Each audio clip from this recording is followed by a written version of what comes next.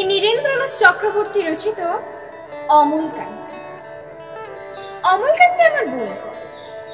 স্কুলে আমরা একসঙ্গে পড়তাম।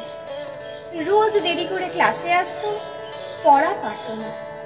শব্দরূপ জিজ্ঞেস করলে এমন অবাক হয়ে জানালার দিকে তাকিয়ে থাকতো যে দেখে ভারী কষ্ট হতো আমাদের। আমরা কেউ মাস্টার হতে চেয়েছিলাম, কেউ ডাক্তার, কেউ অমলকান্তি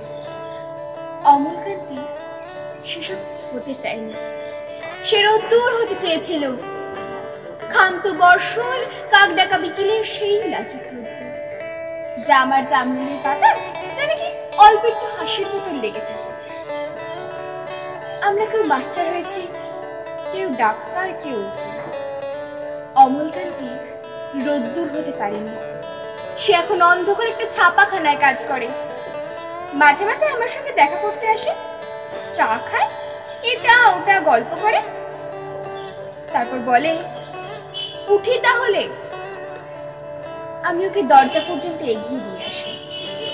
আমাদের মধ্যে যে এখন মাস্টারি করে, অনায়াসে সে ডাক্তার হতে পারত।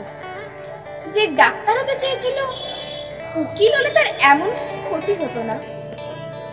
অথচ সকলেরই ইচ্ছে পূরণ হলো।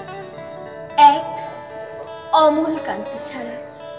অমল কান্তি রোদ্দুর হতে পারেনি? সেই অমল কান্তি রোদ্দুরের কথা ভাবতে ভাবতে ভাবতে ভাবতে যে একদিন রোদ্দুর হয়ে যেতে চেয়েছিল।